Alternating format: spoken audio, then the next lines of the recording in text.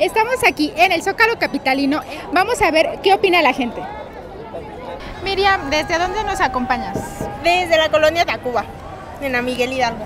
Algo me dice que eres Amlover. Cuéntanos, ¿qué haces por aquí? pues aquí venimos a apoyar, a despedir a nuestro presidente, ya que, bueno, a nosotros como jóvenes nos dio mucho apoyo, eh, al igual como deportistas, nos apoyó demasiado.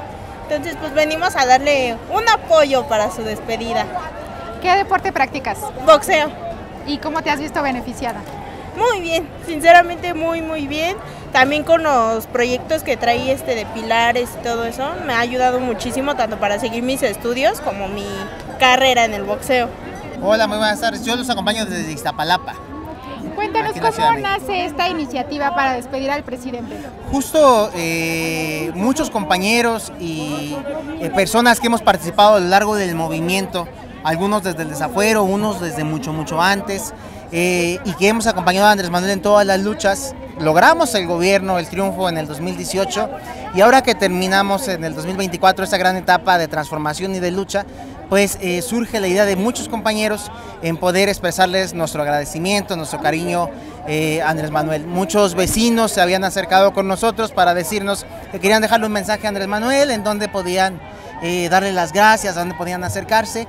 Y pues lo mejor es que eh, a través de las redes sociales empezamos a publicar los mensajes para el presidente, ese tipo de iniciativas de las lonas, para que escriba la gente eh, algún pensamiento, eh, tomarse fotografías con los presidentes que tenemos de cartón, ¿no?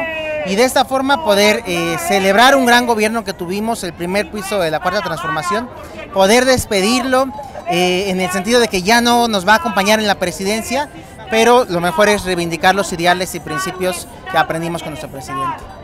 Nos comentaba antes de empezar la entrevista que usted forma parte de un grupo. Cuéntenos un poquito al respecto. Lo que pasa es que en el 2008 Claudia Sheinbaum hizo mm, brigadas de Adelitas y yo estaba en la primer brigada que se llamaba Juana de Asbaje con Claudia Sheinbaum precisamente y estuvimos este afuera del Senado, porque el Senado estaba por aprobar las leyes en contra de nosotros para despojarnos del petróleo poco a poco, fue en tiempos del presidente Calderón, y pues se dio esa lucha.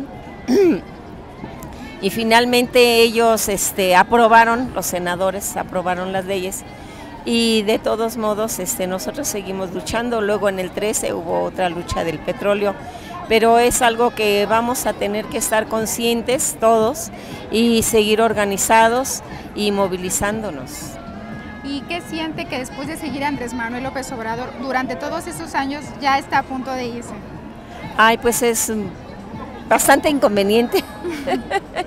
él tiene que seguir asesorándonos, él tiene que seguir pues explicándonos cómo son las cosas porque se viene muy complicado. Eh, lo que él hizo fue detener el entreguismo, eh, empezar eh, muchas este, iniciativas, que algunas ya fueron aprobadas, pero esto sigue, sigue porque nos van a querer despojar de lo que son nuestros derechos, el agua, el petróleo, el litio, las minas, todo se tiene que rescatar y pues es el gobierno federal el que debe estar al frente en la administración y somos nosotros los que debemos gozar de esos derechos porque es nuestra tierra, es nuestra patria, es lo que nosotros eh, tenemos acceso y debemos también derecho del disfrute de esa explotación de los recursos naturales estamos en buenas manos, ¿no creen?